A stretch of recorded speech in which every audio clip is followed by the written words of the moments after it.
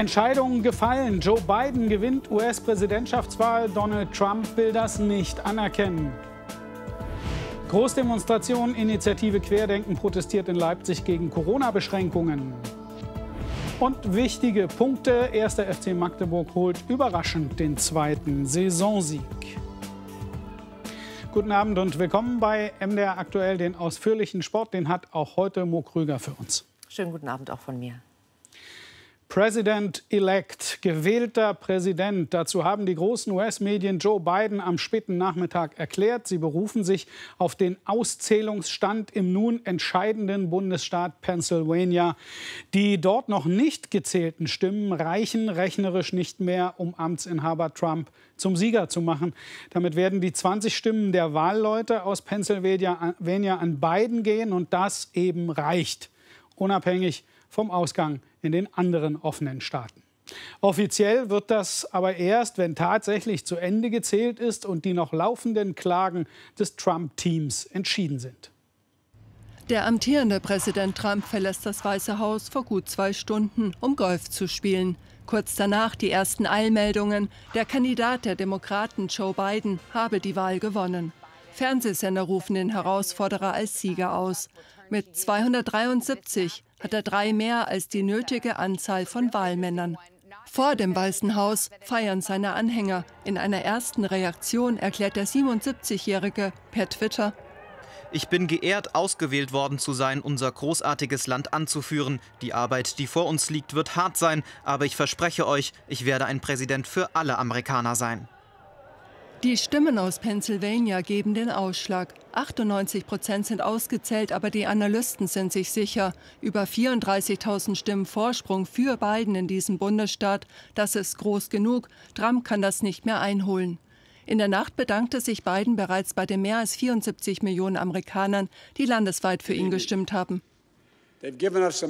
Damit geben sie uns das Mandat, um Maßnahmen gegen das Coronavirus, für die Wirtschaft, gegen den Klimawandel und gegen strukturellen Rassismus zu ergreifen, damit das Land zusammenkommt und nicht weiter auseinanderdriftet. Das aber droht weiter. Trump beharrt noch darauf, er habe gewonnen. Den Sieg Bidens will er nicht anerkennen. Medienverbündete würden Biden fälschlicherweise als Sieger darstellen. Dabei ist es in den USA üblich, dass die Wahl auf der Basis von Prognosen großer Medienhäuser entschieden wird und auch, dass der unterlegene Kandidat dem Gewinner dann gratuliert. Wir sind mit dem ARD-Korrespondenten Stefan Niemann in Washington verbunden. Stefan, erkennen Sie noch irgendeine Strategie im Trump-Lager, die einen Erfolg haben könnte?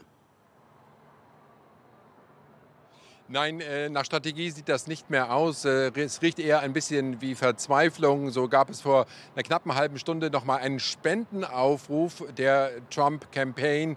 Äh, die haben ihre Anhänger gebeten, Geld zu überweisen, um die Anwälte zu bezahlen, um die ganzen Klagen, die nun angestrengt werden sollen, zu finanzieren. Das scheint, scheint im Moment die einzige Strategie zu sein. Wir haben gestern gehört aus dem Umfeld des Präsidenten, dass es wohl richtig Streit gegeben haben muss. Er soll einen Wutausbruch Anspruch gehabt haben, weil ihm Familienmitglieder und Berater unterschiedliche Ratschläge erteilt haben, ob er nun die Niederlage eingestehen soll, die bevorstehende, oder äh, noch mal kämpfen soll. Das scheint noch nicht klar zu sein. Also im Moment wirkt es so, als sei Trump noch trotzig und zu Widerstand entschlossen.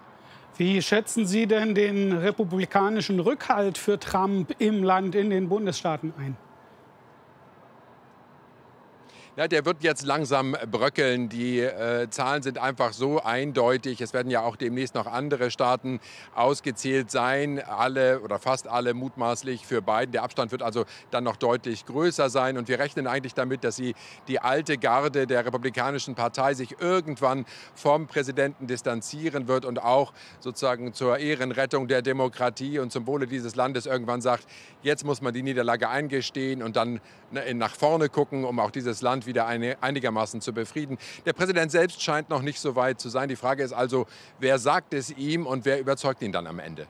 Für den Abend Ihrer Zeit ist ein Auftritt Bidens angekündigt. Warum lässt sich der Präsident-elect so viel Zeit? Weil er auf die beste Sendezeit wartet wahrscheinlich. Er wird eine Rede vorbereitet haben. Ähm, er schreibt Geschichte, weil nie ein Präsidentschaftskandidat mehr Stimmen bekommen hat als er. Über 74 Millionen, ja, ein Abstand von über 4 Millionen zu Donald Trump, der auch ein Rekordergebnis eingefahren hat für einen republikanischen, äh, republikanischen Kandidaten. Und Geschichte schreiben wird Kamala Harris als erste Frau im Vizepräsidentenamt, erste Frau mit asiatischen und äh, schwarzen Wurzeln. Insofern äh, wird das ein, ein feierlicher Moment. Aber die warten auf die beste Sendezeit, damit wirklich die ganze Nation dann dabei ist, wenn der Sieg erklärt wird. Besten Dank für die Einordnung, Stefan Niemann nach Washington. Zurück nach Mitteldeutschland. Das sächsische Oberverwaltungsgericht hat das Demonstrationsrecht offenbar höher bewertet als die Sorgen der Behörden in Leipzig und die Querdenkerversammlung gegen die Corona-Maßnahmen doch in der Innenstadt zugelassen. Nach Angaben der Forschungsgruppe durchgezählt waren etwa 45.000 Menschen aus ganz Deutschland nach Leipzig gekommen. Dazu kamen mehrere Gegendemonstrationen.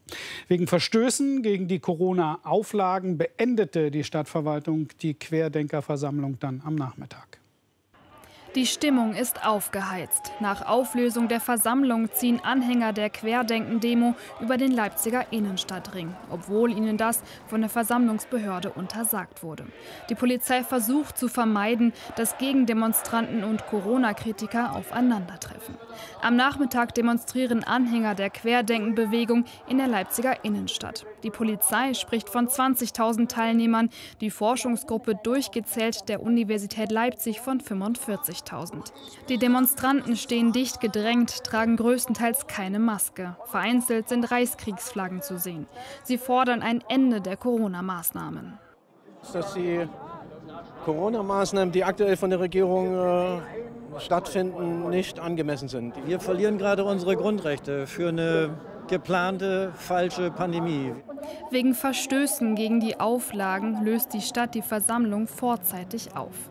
27 Gegendemonstrationen waren für den Tag angemeldet. Aus deren Reihen kommt scharfe Kritik auch daran, dass die Querdenken-Demonstranten ihre Kundgebung vergleichen mit den Leipziger Montagsdemonstrationen von 1989 das, was die Menschen damals gemacht haben, die in einer Diktatur gelebt haben, dass man das so schändlich missbraucht, dass man sich das anmaßt, da einen Vergleich zu ziehen. Wir leben in einer Demokratie. Das ist, mag nicht alles gut sein, aber das ist eine bodenlose Unverschämtheit. Am Abend kommt es zu Rangeleien zwischen Teilnehmern der verschiedenen Demonstrationen. Mehrere Personen werden von der Polizei festgenommen. Unser Reporter Markus Reher hat die Kundgebung in Leipzig und die Situation danach für uns beobachtet. Markus, wie erleben Sie die Lage in der Stadt zur Stunde? Ja, die Situation hier in Leipzig im Moment ist sehr unübersichtlich. Wir sehen immer wieder Polizeikolonnen mit Blaulicht hin und her fahren. Ich stehe hier gerade auf dem Augustusplatz mitten in der Stadt, wo die Demonstration der sogenannten Querdenkenbewegung stattgefunden hat. Viele von denen sind auch jetzt noch hier auf dem Platz hinter mir. Sie hören sie vielleicht rufen. Frieden, Freiheit, Demokratie rufen sie. Sie berufen sich auf die friedliche Revolution von 1989. Sie sehen in der Regierung unter Merkel eine größere Gefahr als in dem Coronavirus. Und es sieht im Moment nicht so aus, als wollten sie diesen Platz bald räumen, obwohl die Polizei mit Lautsprecherwagen immer wieder dazu aufruft, dass der Platz geräumt werden muss. Sie bewegen sich hin und her. Es sind bestimmt noch mehrere hundert von ihnen hier auf dem Platz. Und wir sehen auch immer wieder behelmte Polizei, die hier und dorthin stirbt. Also es sieht im Moment so aus, als könnte das noch ein unruhiger Abend für Leipzig werden. Markus Reher in Leipzig, danke für die Eindrücke und ich hoffe, Sie konnten unseren Reporter einigermaßen gut verstehen. Frankreich gedenkt der Opfer des islamistischen Terrors. Damit beginnt unser Nachrichtenüberblick. Frankreich hat mit einer nationalen Trauerfeier der Opfer des Anschlags von Nizza gedacht. Premierminister Castex sagte bei der Zeremonie in Nizza, der radikale Islamismus sei der Feind Frankreichs. Die französische Regierung werde ihn deshalb unerbittlich bekämpfen. Am 29. Oktober waren bei einem Messerangriff in der Basilika von Nizza drei Menschen getötet worden. Die französische Regierung geht von einem islamistischen Terroranschlag aus. Belarus hat sein erstes Atomkraftwerk offiziell in Betrieb genommen. Es soll 40 Prozent des landesweiten Strombedarfs decken. Das Kraftwerk steht nahe der Grenze zu Litauen, etwa 40 Kilometer von dessen Hauptstadt Vilnius entfernt. Gebaut und bezahlt wurde es von Russland. Von Berlin-Tegel sind die letzten Linienmaschinen gestartet. Nach mehr als 60 Jahren schließt der Flughafen. Hunderte Besucher kamen, um sich von dem Flughafen zu verabschieden. Künftig wird der Flugverkehr über den neuen Hauptstadtflughafen BER abgewickelt. Dieser war am vergangenen Wochenende mit neun Jahren Verspätung eröffnet worden. Auch heute gilt, was in den vergangenen Tagen galt. Das Robert Koch Institut meldet einen neuen absoluten Höchststand der Corona-Neuinfektionen. Und es sieht nicht so aus, als würde sich das so schnell ändern. Seit gestern wurden in Deutschland laut Robert Koch Institut 23.399 neue Corona-Infektionen gemeldet. Bundesweit gibt es nach Schätzung derzeit etwa 219.262 aktive Corona-Infektionen. Seit gestern sind deutschlandweit 130 Menschen im Zusammenhang mit einer Corona-Infektion gestorben. Die Gesundheitsminister von Bund und Ländern haben eine gemeinsame Strategie für Corona-Impfungen beschlossen. Das teilte die Senatsverwaltung für Gesundheit in Berlin mit, die derzeit den Vorsitz der Gesundheitsministerkonferenz innehat. Der gemeinsame Beschluss sehe unter anderem vor, dass der Bund die Impfstoffe beschaffe und finanziere. Die Länder sollen dann in eigener Verantwortung Impfzentren einrichten. In Halle sollen bis morgen in allen Seniorenheimen Corona-Schnelltests durchgeführt werden. Die Stadt will damit nach eigenen Angaben einen Überblick über das Infektionsgeschehen in den Einrichtungen gewinnen. Das Personal sei entsprechend eingewiesen worden. Fällt ein Schnelltest positiv aus, soll das Ergebnis anschließend durch einen herkömmlichen Test bestätigt werden. In Meuselwitz haben Unbekannte vergangene Nacht einen Geldautomaten gesprengt. Laut Polizei konnten die Täter Geld erbeuten, wie viel sei noch unklar. Ersten Ermittlungen zufolge flüchteten die Täter mit einem dunklen Fahrzeug in Richtung Zeitz. Beamte des Landeskriminalamtes Sachsen haben gestern Abend in der Görlitzer Innenstadt mehrere Wohnungen nach Waffen durchsucht. Im Einsatz waren auch schwer bewaffnete Polizisten vom Spezialeinsatzkommando. Nach bisher unbestätigten Informationen wurde eine Person vorläufig festgenommen. Nähere Informationen will das Landeskriminalamt am Montag mitteilen. Wer da bei RB Leipzig eine kleine sportliche Krise gesehen haben wollte, der wurde heute eines Besseren belehrt. Mo. Ja, man ist wieder oben auf. Vier Tage nach dem Sieg in der Champions League war RB Leipzig auch in der Bundesliga erfolgreich. Gegen den SC Freiburg setzte sich das Nagelsmann-Team mit 3 zu 0 durch. Die Tore erzielten Konate, Sabitzer und Angelino. Damit ist RB bis heute Abend kurz wieder an der Tabellenspitze, denn gerade läuft ja das Spitzenspiel zwischen Dortmund und Bayern. Und wir schauen auf die weiteren Ergebnisse dieses Bundesligaspieltags. Union Berlin, Arminia Bielefeld 5 zu 0, Mainz Mainz, Schalke 2 zu 2, Augsburg, Hertha BSC 0 zu 3, Stuttgart, Eintracht Frankfurt 2 zu 2 und im Spiel zwischen Dortmund und München steht es 1 zu 1. Zweitligist Erzgebirge Aue hat das zweite Unentschieden in Folge eingespielt und sich in der Tabelle um einen Rang auf Platz 9 verbessert. Die Veilchen trennten sich auswärts von Hannover 96 mit 0 zu 0. Ein Punkt, mit dem Aues Trainer Schuster zufrieden war. Ich denke, dass es für uns ein Punkt ist, den wir uns erfeitet haben, den wir uns mit allem, was wir hatten, erkämpft haben. Und bin da auch ein bisschen stolz, wie wir dann die letzten äh, zehn Minuten inklusive der Nachspielzeit mit einem Mann weniger über die Runden gebracht haben, äh, kaum noch was zugelassen haben, äh, nochmal an die Grenze der Leistungsfähigkeit gegangen sind. Das war schon top. In Liga 3 war Zweitliga-Absteiger Dynamo Dresden heute beim ersten FC Saarbrücken zu Gast. Der Aufsteiger ist gerade das Überraschungsteam der Liga, stand vor diesem Spieltag an der Tabellenspitze und stellte auch gegen Dresden unter Beweis, warum. Auf der einen Seite große Freude bei Saarbrückens Trainer Lukas Kwasniok, auf der anderen tiefe Trauer bei Sebastian May und Dynamo Dresden nach einem unglücklichen 1 zu 2. Dabei ging es gut los für die Sachsen, Königsdörfer auf Daferner und das 1 zu 0 nach 16 Spielminuten. Für Christoph Daferner war es der zweite Saisontreffer. Spät im ersten Durchgang in der Nachspielzeit gab es aber die kalte Dusche für Dynamo. Golay mit einer maßgeschneiderten Flanke und Schipnowski köpfte ein zum Ausgleich. Für Schipnowski war es bereits Saisontreffer Nummer 4. Und auch im zweiten Durchgang hatte Saarbrücken ganz am Ende des Spiels noch mal etwas zuzusetzen. Schipnowski auf Sebastian Jakob, der mit seinem vierten Saisontreffer Saarbrücken auf Platz 1 schießt und Dresden auf Platz 7 schubst. Der FSV Zwickau hat gegen den Tabellenletzten Kaiserslautern eine 1:2 Heimniederlage kassiert. Die Pfälzer profitierten in der 57. Minute von einer strittigen Strafstoßentscheidung. Puri mit der Führung für Kaiserslautern. Die Westsachsen kamen aber zurück. Jensens Eckball nutzt Schikora 13 Minuten vor Spielende zum 1:1 Ausgleich. Aus dem Nichts dann der Siegtreffer für die Gäste in der 86. Minute. Zuck am zweiten Pfosten zur Stelle. Lautern gibt die rote Laterne ab. Zwickau jetzt Tabellen 13.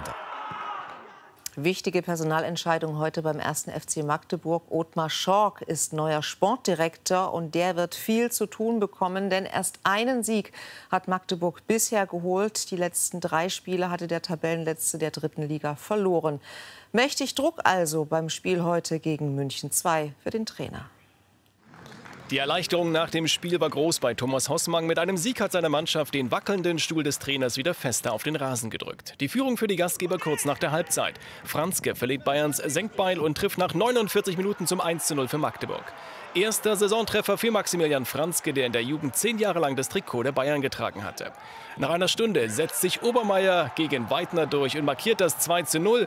Wieder ein strammer Schuss ins lange Eck. Auch Raphael Obermeier hatte früher in München gespielt. Erst Freude, dann noch einmal Bangen bei Hossmann.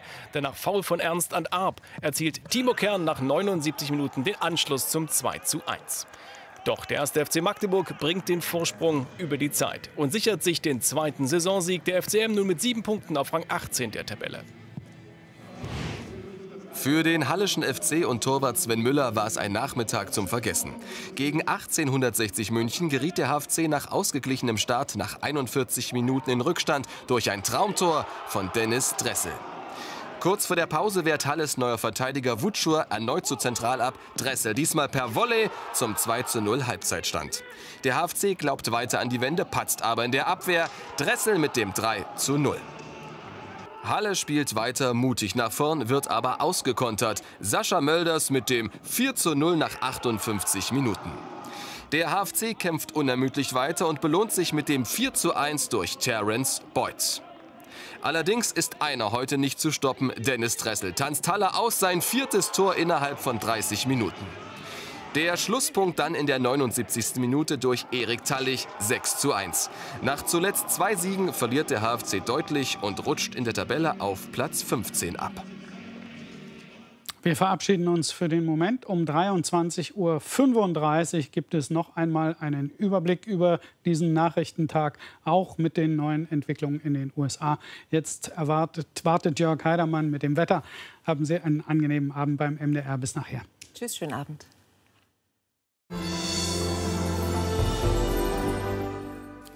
Herzlich willkommen zum Wetter für Mitteldeutschland. Und das hat heute früh nicht nur im Raum Jena einen nebeligen Start gebracht. Wenn wir von oben drauf schauen am Vormittag, da sehen wir teilweise noch die Nebel bzw. auch noch Hochnebelreste.